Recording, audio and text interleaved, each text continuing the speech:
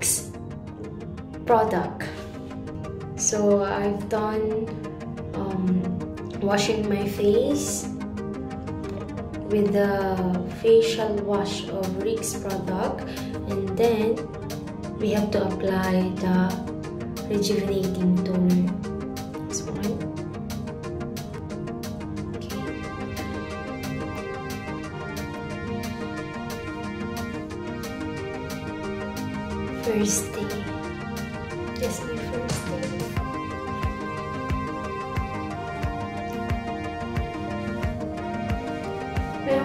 Ako pimples dito. Kaya po ako gumamit nito.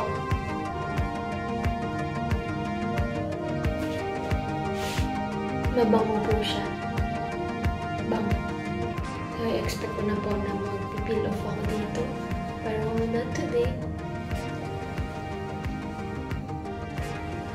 Babasain ko lang yung face ko.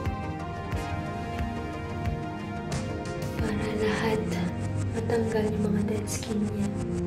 Okay?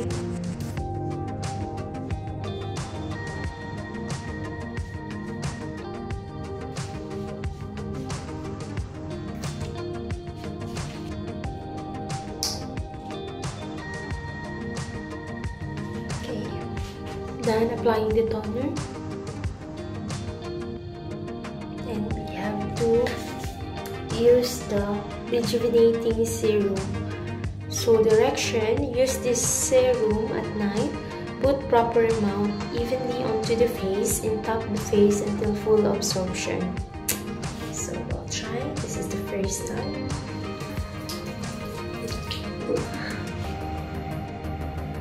To use this product, hopefully it will effect on my face.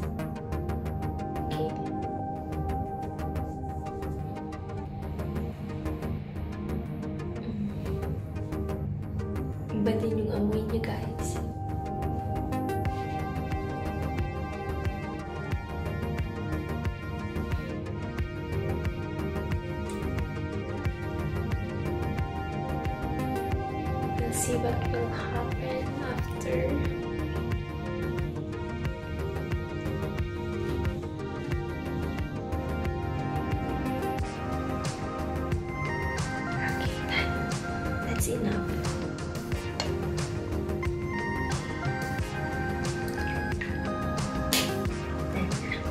So we have to close the can and put it back here.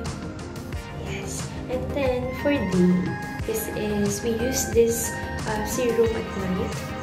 And we have also sunscreen to use. Day. Nagka-allergy kasi ako dito guys. So, nakakapag ko medyo na kasta. Tsaka dito. Pag pinipimples naman ako lagi dito. Sana mag-effect yung Rix product sa akin. Okay, that's it for today. Bye guys! Hello guys! Today's video, ipapakita ko sa inyo yung paggamit ko ulit ng Rix product. Pang 9 days ko na po ito. At um, makikita niyo po, nagpipil off po ako paunti-unti. Okay. Ang kagandahan lang sa Rix product kasi hindi po siya mahapde. Tapos, hindi po siya kaagad uh, nagpipil off yung mukha mo. Okay? Tapos, napapansin ko po, ang dami ko pong mga pimples dito sa malapit sa chin ko. Ngayon po, hindi po nawawala. Yes. Yan, tsaka dito po. Kasi usually po, pag pinipimples ako, dito lang po banda. Hindi po dito. Kasi nga may hormonal imbalance po ako. So, yun po yung mga symptoms na may hormonal imbalance. Kaya, minsan, um, kailangan talagang gamitin. So, nakakatulong yung Race products para sa akin. Okay. So, ito ulit. Okay.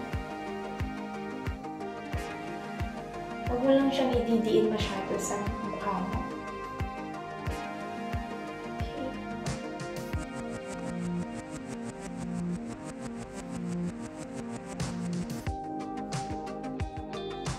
Dito ko po inuuna, dito sa part na to, kasi ito yung may mga pimples.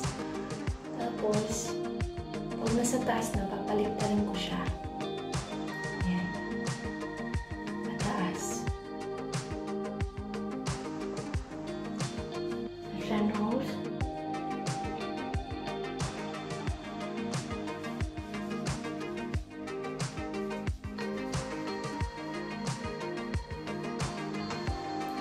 Po, pag gumagamit kayo nito, dapat uh, pag daytime, kailangan yung gumamit ng sunscreen. Tapos, pag gabi naman, pag matutulog na kayo, ito yun. Yung sun protection, hindi ko siya dala kasi nandun siya sa bag ko. Ito yun, night.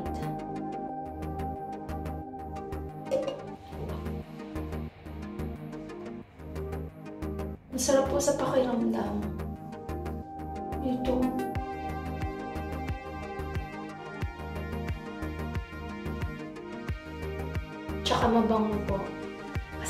Po natin alagaan yung ating skin.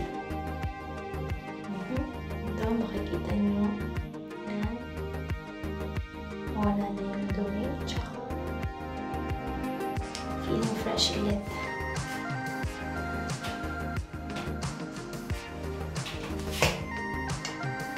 Okay, ito yung serum na ito yung serum ng Rix product. So, lang tayo konti.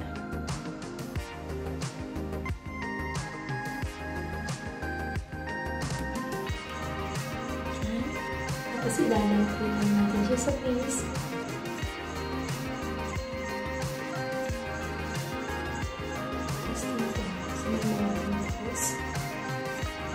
Okay.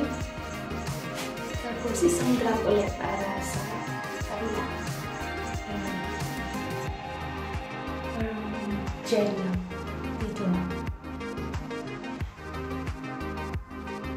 Huwag po nating hayaan na hindi magamot yung ating pimple sa mukha kasi hindi po siya matanggal. Dapat hanap po tayo ng paraan para mawala siya. So, inipilit po dapat yun. Okay na po yun. Marami po siyang laman. Maliit lang siya, pero konting drop lang para sa paggamit niyo. Okay na po. Huwag naman masyadong madami yung nilalagay. Basta lahat nalagyan. Yan. Super konti lang. Lalagay ko siya ulit dito para matuyo na yung aking pimple. Yan. Dito lang sa part mo. Yan. Diyan lang talaga ako pinipimples palagi. Tapos, meron po akong part dito. May mga, may scars po siya kasi dati nagkaroon po ako ng chicken pox. Nahawaan ako ng aking estudyante. So, ganun. Tumama lahat sa aking face. Okay. Ano po yun? So, today is my 9 days of using the Rix Cancerity product, beauty product. So, titignan natin hanggang sa maubos natin yung paggamit nito kung ano yung magiging result niya ng ating paggamit. Okay. Okay, guys. See you again next time, guys.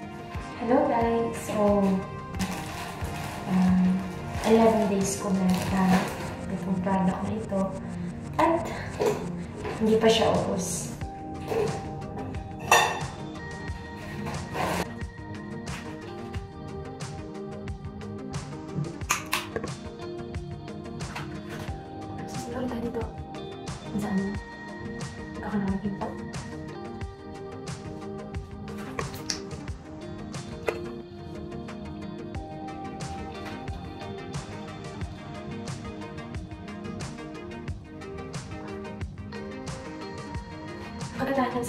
Yes, ang same-same. Hindi siya maano. Hindi siya natin sa mukha.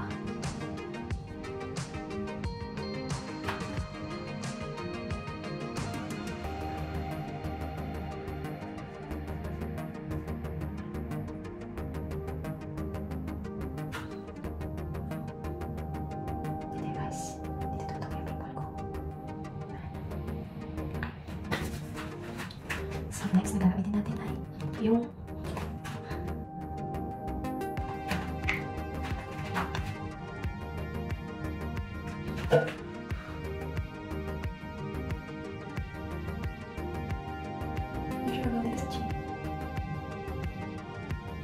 massage lang sa face. Yan. Ganyan. Tapos kayo tayo. Ang sa kabila.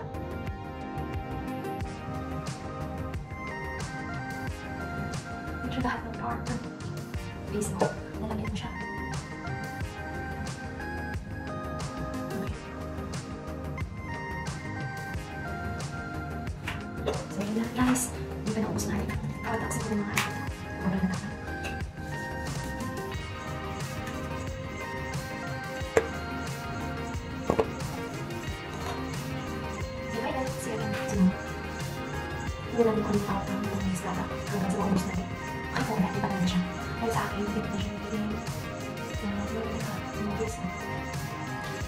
Lista. So guys, tonight, pang 13 days ko na po nagamit ng Sincerity product.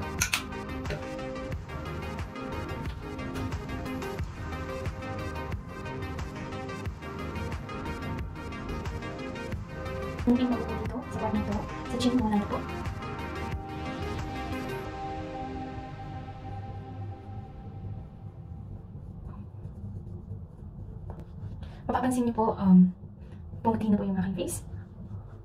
At, ah, kuminis na rin. So, ganun talaga. Hindi siya agad-agad. Takes time. Yan. So, next na gamitin natin kasi gabi ko ngayon ay ang uh, rejuvenating serum. Okay. Gagawin na natin sa ating mukha. Pati dito sa ating direct. Okay, isa pa dagdag pa tayo. Kabila naman.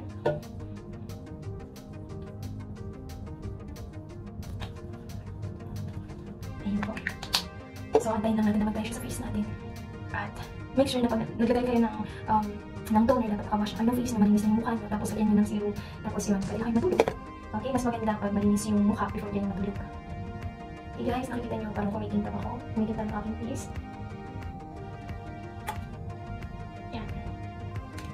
Huwag po natin kalimutan na ang ating skin. Kasi yun po ay pinaka-importante sa isang tao. Okay? Huwag po natin kalimutan mahalin ang ating sarili. Okay guys, see you again tomorrow. Hanggang sa maubos natin yung Rick Skin Therapy product. Hello guys, good evening. So, tonight, pang 15 days na po nagamit ng Rick Skin Therapy product. So, malapit na siyang maubos. malapit na siyang maubos guys.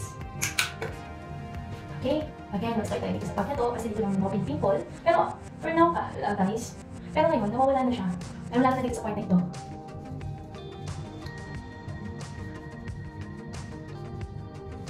Ang kagandahan ng pag gumamit kayo ng product na ito, hindi talaga siyang update.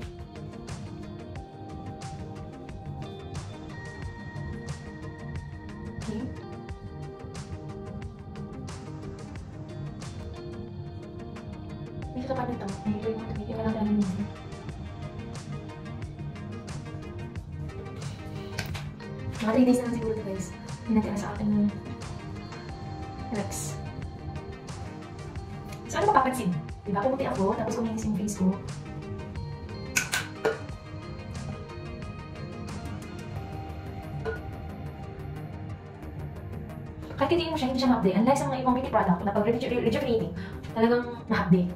Hmm, matapang. Ito hindi. Hindi siya matapang, guys. Ito kasi isang pimple ko na to. Bulog siya. Sa loob ng pimple niya, matagal siya na matagal matanggal. Pero naging okay yung face ko. Unlike dati, hindi pa ako gumagamit nito. Kasi di ba, ang dami ko pimples dito para akong sinalpala ng pimple. Buti na, nagawin ko siya kaagad. So, next is yung um, again kasi gabi. Yung SPF, yung cream, para sa umaga, hindi yung gamit ko kasi nga wala pang ipasok. Pero next week na yun, naman talaga. Kailangan ko kasi nasa labas na ako. Hindi ba sa'yo? Hindi. Kaya kapag pagbaon na yung face, nagtagin siya agad agad. Dapat wala talaga yung face, dapat talaga malinis. Hindi ka matulog.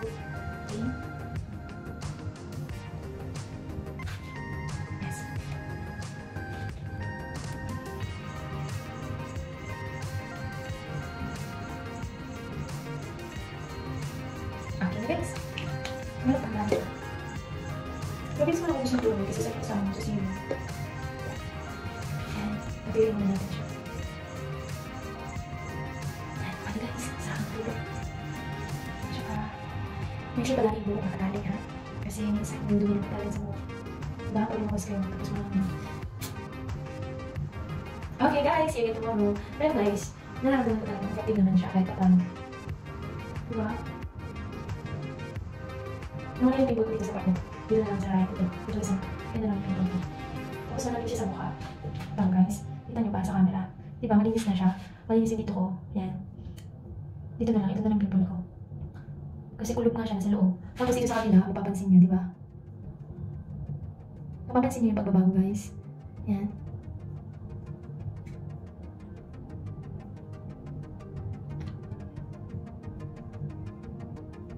Okay guys, thank you so much. So, bukas na tayo magkikita. Okay? Dito sa serum na to, meron siyang vitamin B3. Tapos, citrus, medical lemon, lemon or lemon. More on fruits siya. Vitamin A, vitamin E. Yes. Tsaka manufactured in the Philippines. Okay guys, bye! So guys, good morning. So today, 16 days na po gagamit ng Rex Skin Beauty Product. At, ayun ang morning. So gagamit tayo ng skin protection. Pagkakasang po natin dito. Mag-wash ng face.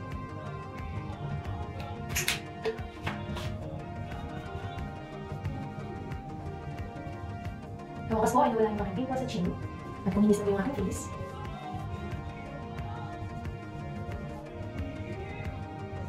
Mapapansin niyo po dito pimple. Dito, sa pag na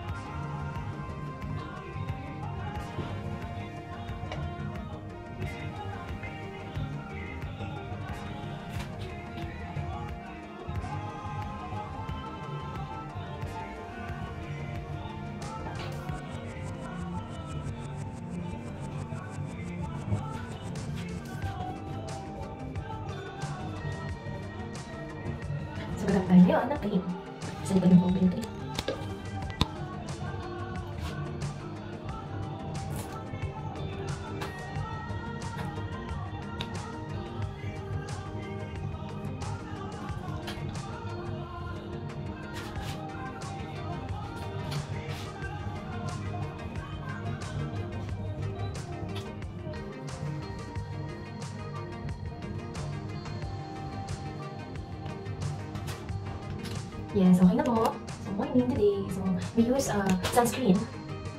for morning. And, ito na for evening. Zero. Yun na po guys. So, papansin nyo, na po yung aking face at makikita nyo na parang kumikita. Kasi nililinis siya ng Lip Skin Serum. Nang-rejuvenate siya. Hey guys, thank you so much for watching. See you again tomorrow. Kasi meron pang natira. Yan pa po. Tapos ito, tsaka ito. Pero ang mauna mauna, naubos kasi yung tangay. Meron ng facial wash. Yung mga nila naubos na. Okay, bye guys. Hello guys. So tonight, rest na tayo. So but before that, mag-ano ko. Nag-record muna. Nag-focus ako. So after that, uh, matutulog na. So, hindi ako may magamit ng foundation. Pag may recording kasi nga tayo ngayon ng Fix Skin Cerity.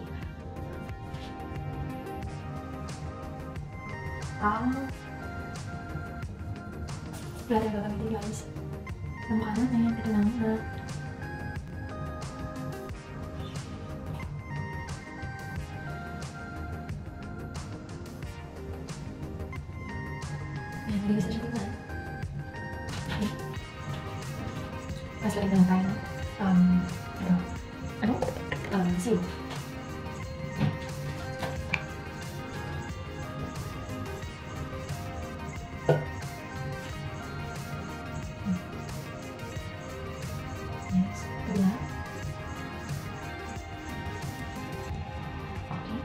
Hindi na lang.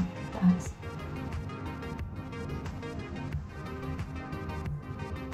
Malamig niya, please. Yan.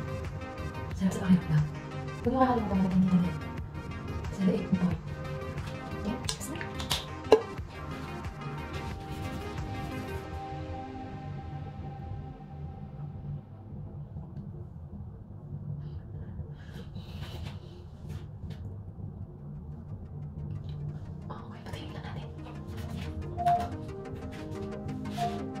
Kita na po yung light niya. Siya. Yes, diba?